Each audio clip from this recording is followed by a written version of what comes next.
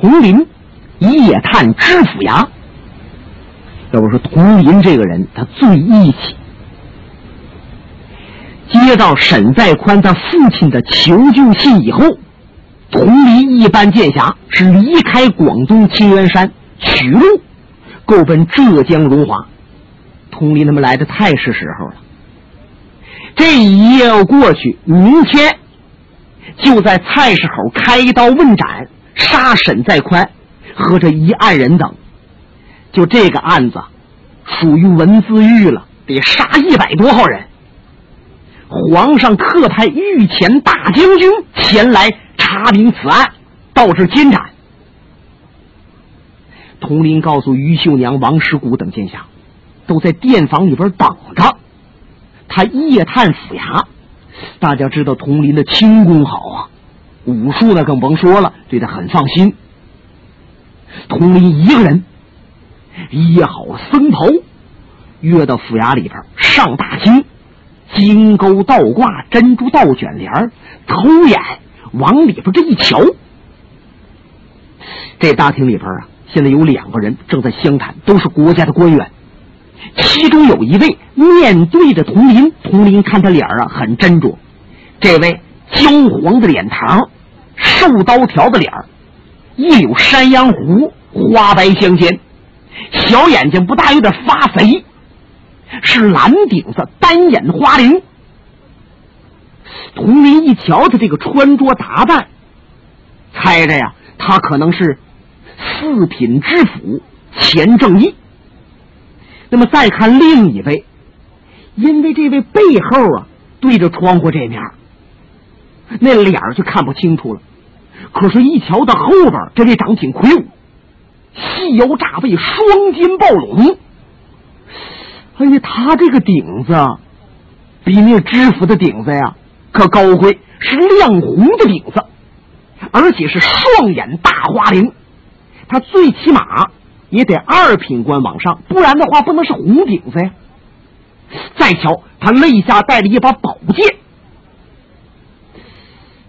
看样这位还会些武术，不然的话他不能带家伙呀。就听这荣华知府钱正义说：“哎呀，侍卫大将军，您来了啊！这是给我呀壮腰眼子，我可有主心骨了。不然的话，明天杀沈在宽这些人，真要有人劫法场，你说我一个文官，就算手下有一些差官，有一些兵丁，他们能够护得住吗？能够打得跑那些飞贼吗？”嗨，大将军，您可辛苦喽！就听着大将军呵呵一乐，然后慢慢站起身来。知府大人，我现在就休息去了，明天见啊！明天见，明天见。这知府也就站起来了。就在这位大将军那么一转身，奔门这儿来的时候。佟林一眼把他看得清清楚楚，这也看清楚了。佟林一惊，那个脚啊，差点松开，险些在房上掉下来。那说佟林认识这位大将军，太认识了。这个人不是别人，乃是佟林的好朋友，一块出生入死、打过剑山蓬莱岛的金莲花凤琪。凤七现在也就四十来岁，长得精神。那二十多岁时候，在江湖上闯荡，号称叫第一美男子。不单说脸长得白净，五官周正，在他两眉毛当中还有一朵九瓣金莲花。了解他的人都知道，这朵金莲花就是他的老师傅。四大名剑头一位正骨剑董乾董化一老人家给他刻上的，然后涂上金粉。当时老剑客的意思就是，江湖上鱼龙混杂，而且有很多坏人，望自己的弟子闯荡江湖，出淤泥而不染，就像莲花一样。哎，才有这么个莲花范因此大家给他个外号叫金莲花。这金莲花凤起是满人，他们家呀是正黄旗人。不过他的父母早死，他从小认董老剑客为师傅，练武艺。后来呀，二十多岁了，要闯荡江湖。这位可很豪爽，把整个家资全部捐献给江湖绿林道了。拜托了几个镖局，说真要是练武术的困到咱们京师了，哎，就拿我的钱接济他们，然后凤起就够奔两军阵前，投奔了佟林，随着年羹尧攻打剑山蓬莱岛。你看，佟林等人立了功了，反而被雍正等人给加害。但是雍正不但没看凤起，还重用了他。现在凤起已经被御封为御前的大侍卫将军，官封一品呐。看来这雍正种族观念还是很强。你看凤起是满人吗？是女真人呢？哎，他重用。本来金莲花凤起在近日里就准备到陕西长安城去。统领兵马，当那个抚远大将军，就是接十四皇子允提的那个空位。本来这个位置啊，雍正想让年羹尧去干，但是现在雍正对年羹尧不放心，认为年羹尧和佟林这帮剑侠很有感情，重用年羹尧，恐坏大事，所以就要派凤起去。浙江荣华出了沈在宽这案子。雍正这才派凤琪亲自查明此事，然后就地正法。那佟林过去和凤琪在一个锅吃饭，甚至在一个床睡觉，在一起爬冰卧雪，跟剑山蓬莱岛鹰王他们斗啊，那是十来年的交情。所以说，一看凤起在这儿，佟林很意外。但是佟林稳住了心神，一觉功夫又上房。这知府钱正义一直陪着金莲花凤起，来到凤起休息的院落，到了门首这儿了。凤起这才冲他拱拱手：“贵府，您也早点休息吧。”啊，好了，那大将军，那我就不打扰您了。这位向后退两步，然后转身走了。凤七开门撩帘子往里来，随手把门带上。这个屋里边点着一支蜡烛，不太明亮，昏黄的灯光。凤七一个手带门，他就感觉，嘿，不对劲儿，屋内有人。凤七这耳音多好使，眼睛还没等看准呢，就感觉出来屋里有人。抬头再往前一瞧，啊！什么？阿弥陀佛，贫僧了空。就在凤起休息的这张大床上，盘腿五心朝天坐着一个和尚。凤起伸手按剑，向前一跨步，刚要发怒，心想：你什么和尚了空，跑到我的床上来了？再仔细一瞧，啊！是童侠客，可不是佟林吗？佟林暗中一瞧，凤起奔这屋来，就先跑到这屋上床等着他。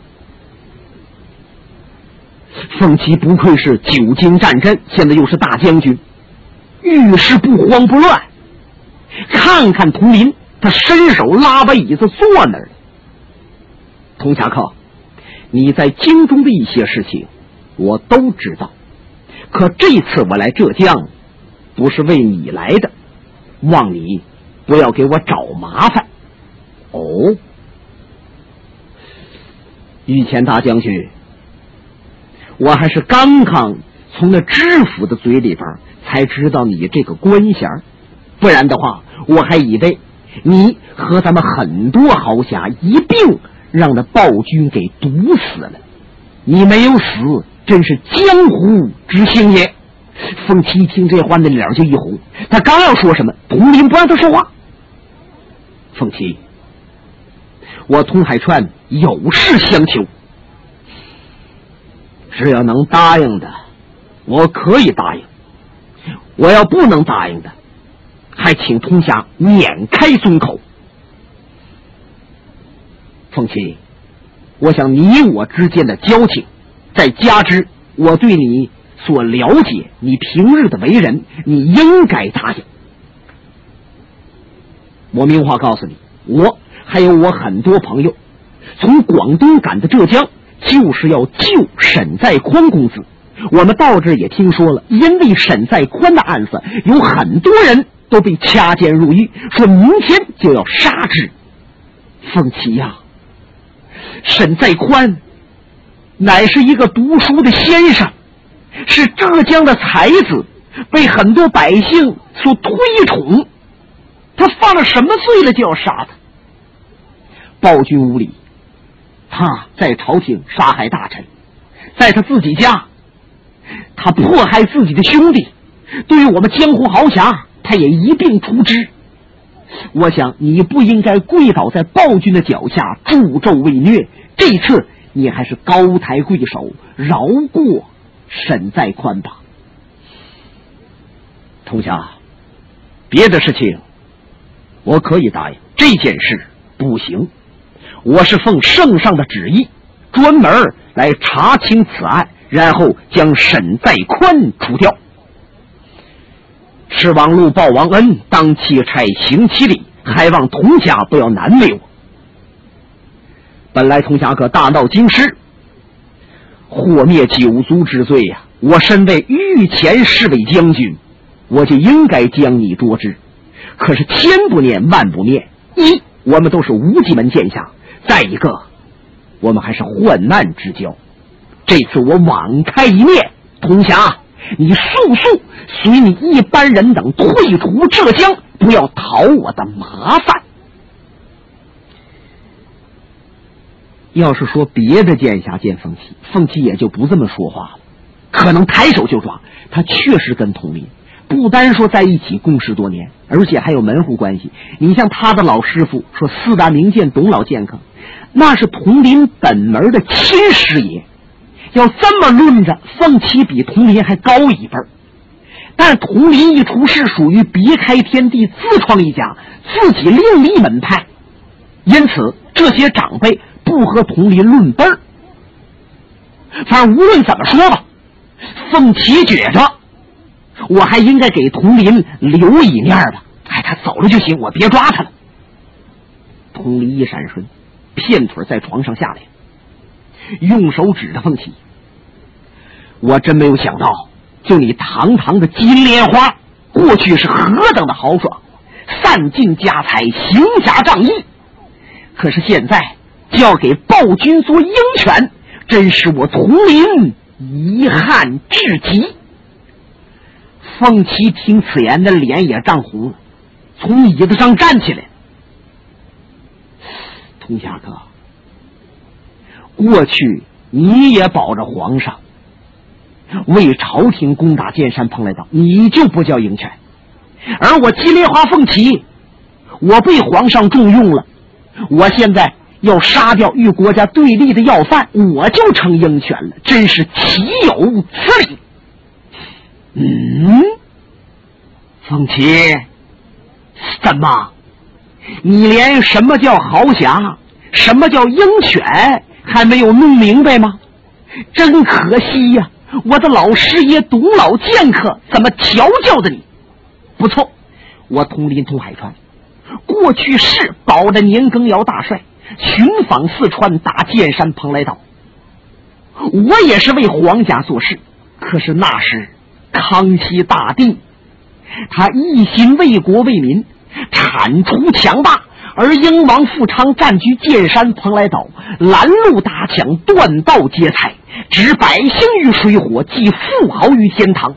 我统领等剑侠为国家征讨剑山，那是义不容辞，理所当然。可是现在的雍正呢？他乃是一代暴君，我们不但不应该保他，而且人人得而诛之。你说你现在帮他不是鹰犬，又是什么呢？凤七听佟林说了这几句话，默然许久，最后把身子一转，摆了摆手：“佟家，从此以后，你走你的阳关道，我过我的独木桥了。不过，我希望你明天不要露头。如果明天你露头的话，我就绝不念旧情。”佟林听他这一转身，哈哈哈哈，好吧，明天见。唰，佟林一闪身，推开房门，飞跃而出，跳出府衙。一夜过去，天光大亮。金莲花凤起见了师傅，告诉他严加防范。今天或许有人要劫法场。这知府一听也发毛啊！啊，大将军，哎。我那总兵官已经都调来了五千兵马，呃，已经全部调到府衙外，请您指挥。嗯，风七告诉这五千兵马开始列岗，三步一卡子，五步一哨，就从府衙一直列到法场。说过去或者是别的案子要杀什么人，有百姓啊可以来看热闹，瞧一瞧。不过这次杀沈在宽等人，不允许百姓进前。有些百姓都知道，这次案子太大了，甚至哪一趟街都有被抓的人，干脆咱别出屋了。可风声鹤唳，人人胆寒。那个法场就设在荣华府城西门里边这个空场。沈在宽。被压在囚车木笼里边，咕噜咕噜咕噜咕，拉到法场处。有人把囚车门打开，伸手一提，把他拉出来了。平日里沈在宽风流倜傥，那是一个美貌的公子。可是现在身有重伤，很狼狈，头发散乱，身上还有血迹，被绑在一个庄爵上，在他身背后有两个刽子手。光着膀子，披着大红，拎着鬼头刀，满嘴的酒气，这是喝了酒壮胆儿。再看旁边也有庄爵，都绑上人了。因为这次杀人太多，这庄爵绑的还不够呢，有的索性就不绑了，就地按跪下了。只要炮声一响，这边就行刑。面南背北搭好了监斩棚，金莲花凤旗。就端坐在里边，在凤七身旁还坐着四个人，谁呢？蓝氏四雄：蓝勇、蓝亮、蓝龙、蓝虎。这哥四个，他们的官位比凤七低，在这儿碰着凤七了，他们都听凤七的。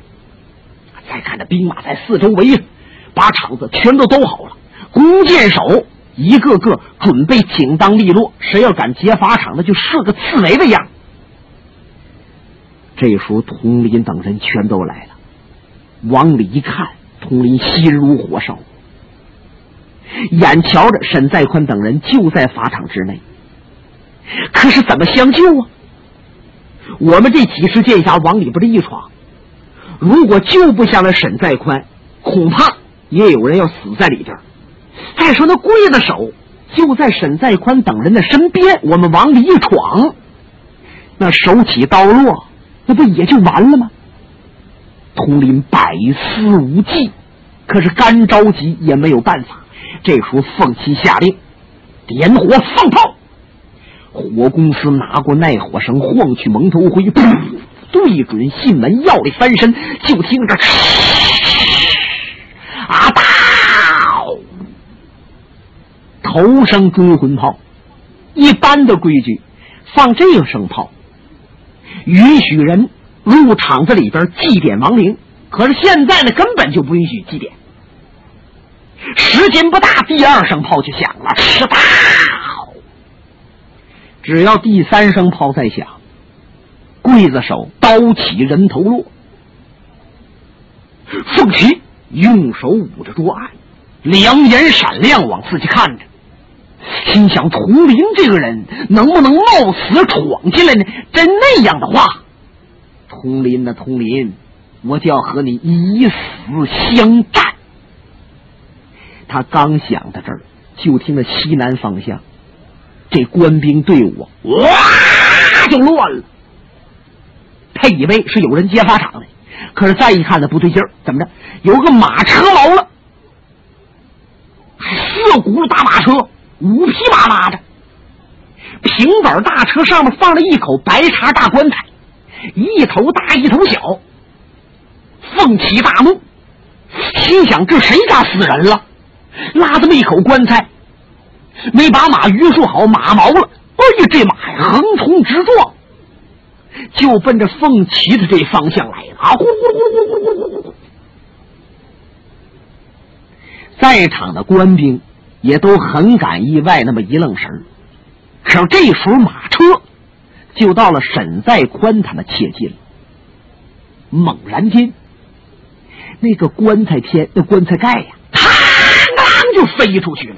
从棺材里边钻出了一个人，还没等看清这个人什么模样呢。就跳下马车，来到沈在宽的跟前，大叫了一声：“沈公子吗？”沈在宽有气无力的一点头：“正是我。”啊！沈公子身背后这俩刽子手啊，还没弄明怎么回事咽喉就挨了两剑，扑通倒地而死。接着救沈在宽这个人。用宝剑一划了，把他绑绳就划了开了，伸手一提，就追这马车。金莲花凤七一看啊，是劫法场的，他也明白过来了。劫法场这位是拉着沈在宽，用手这么一搭，就窜到马车上了，然后把沈在宽往棺材里边一扔。此时，金马已经跑到东南方向。这个官兵切近，奉旗大叫：“拦住！开弓放箭！”那弓箭手啊，刃扣天弦，啊，哒啪，咚咚咚咚咚咚咚咚咚。劫法场这个人特别聪明，把沈在宽往棺材里边一扔，他跟着呀向前一扑，也趴到棺材里了。前边那弓箭都射在棺材头上了，他这口大棺材就成了一个小碉堡、小堡垒了。凤起一瞧，这还了得！他一招八不赶铲，身子往前窜，追这马车，接着一拍肋下的剑，点崩黄捏蛤蟆口，苍啷啷啷啷啷，宝剑出匣。燕子三潮水的功夫，他噌噌噌噌就追上了马车，宝剑横着一摆，咣哒！前面那两匹马马脑袋让他一剑削掉了。马这一倒，后面两匹马呀，往前这一绊，扑通也趴下了。这马车咣当栽过来了，上面的大棺材差点没掉下来。叮咣，凤七横剑拦在前边，用手一指：“小辈，你休想逃窜！”佟林他们在后边啊，可看清楚了，原来劫法场的不是别人，正是白无双。佟林也来不及多想，一叫轻功，在那官兵脑瓜顶上飞过来了，几个起落就到了凤七的身边，双掌合十。凤七啊，凤七，你要给我佟林面子，给我闪条生路，以后我不再叨扰你，不然我们两个就要有一位命丧当场。